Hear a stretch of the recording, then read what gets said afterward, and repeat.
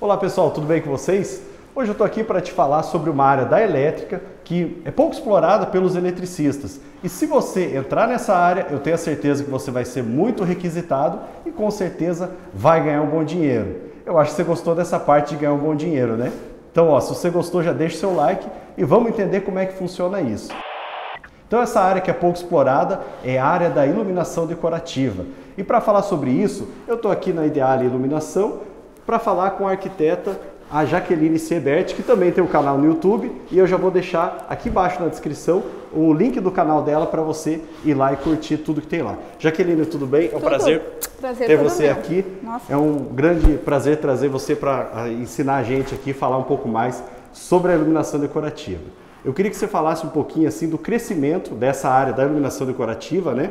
E também as necessidades, porque tem uma demanda grande de profissionais e eu acredito que o mercado necessita de profissionais e tem poucos disponíveis, né? Sim, porque assim, quando você faz um é, projeto de é, decoração, né, você faz assim a parte dos móveis, a parte de é, papel de parede, piso, revestimento, só que daí né, tem toda a parte que é a finalização, que fala que a cereja do bolo é a parte da iluminação. Sim. E cada iluminação vai te dar uma sensação de mais aconchego, de mais alerta, né, para você poder fazer é, coisas mais é, de trabalho, trabalhos que requerem Mais mais, atenção. atenção, né, e que uma é, melhor iluminação vai deixar mais confortável e mais ergonômico para poder trabalhar.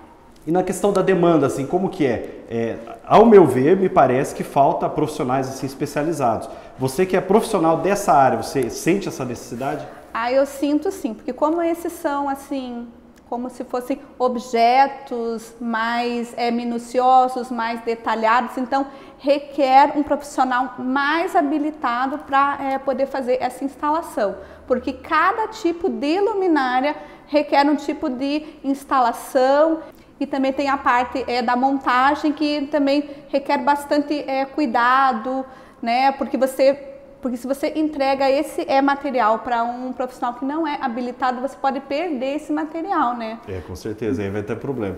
Então, é, na verdade, assim, é uma, vamos dizer, uma adaptação, né? O profissional que já trabalha bem com elétrica, para ele começar a trabalhar com a iluminação, é basicamente uma adaptação. O conhecimento é o mesmo, só que ele vai pegar um conhecimento mais amplo, né? Ele Sim. vai ter que conhecer algumas coisas a mais, e é esse conhecimento que vai trazer o diferencial. Você vai conseguir trabalhar. é, eu posso falar que não é todo eletricista que consegue trabalhar. Sim. Tem os que não têm paciência, tem uns que têm uma mão desse tamanho, assim, parece uma raquete, aí vai ter um pouco mais de dificuldade.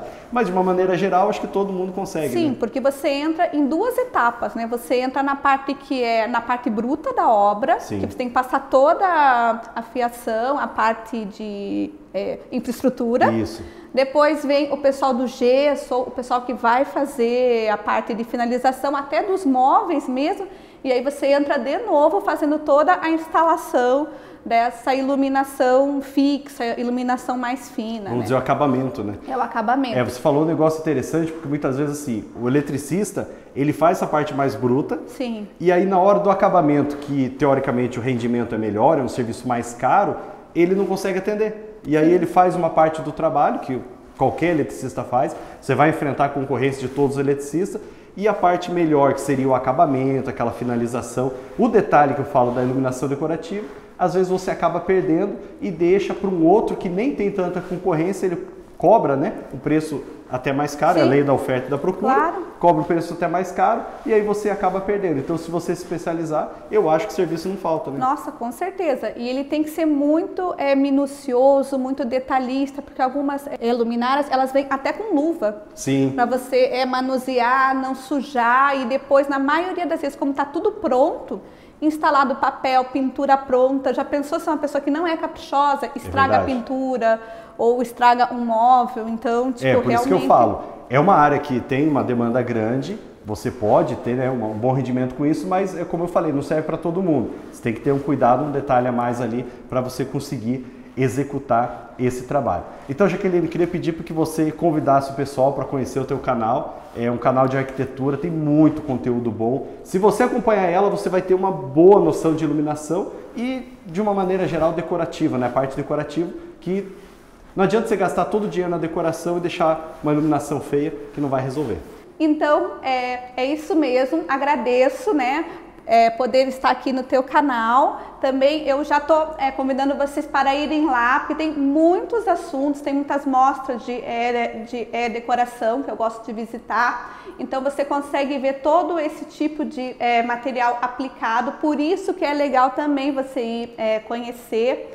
Também falo sobre iluminação, sobre construção, sobre materiais. Então, tem bastante coisa lá no canal, vale a pena ir. Então, eu vou deixar aqui na descrição e também no primeiro comentário fixado. Pessoal, um forte abraço e até o próximo vídeo. Tchau, tchau.